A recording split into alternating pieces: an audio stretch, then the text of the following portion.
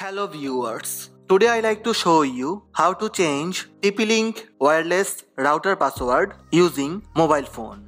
Let's have a look. First, connect your TP-Link router using Wi-Fi. From your phone, launch settings, tap on connections, tap on Wi-Fi.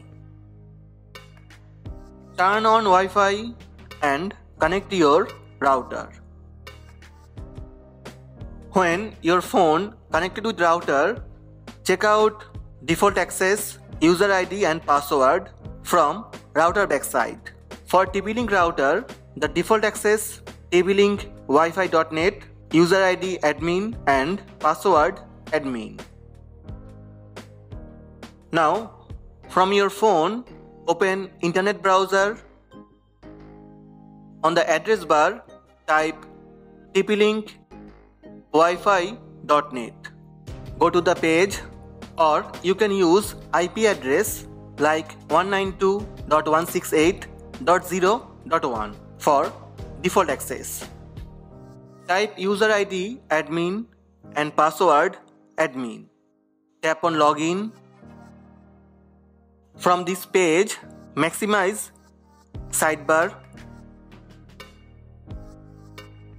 Then tap on wireless. Tap on wireless security. Minimize the screen and tap on wireless password. It's your old wireless password.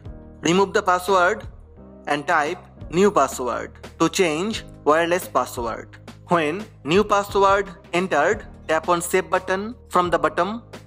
Then tap on refresh button. Your Wi-Fi disconnected.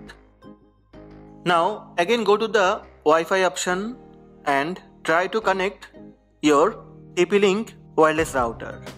Type new password and tap connect. Wi-Fi connected. In this way, you can change Wi-Fi password using mobile phone. Hope this video help you. Please subscribe my channel by tap on red subscribe button also, tap on bell button to receive notifications about all new videos. Thank you. Thank you for watching.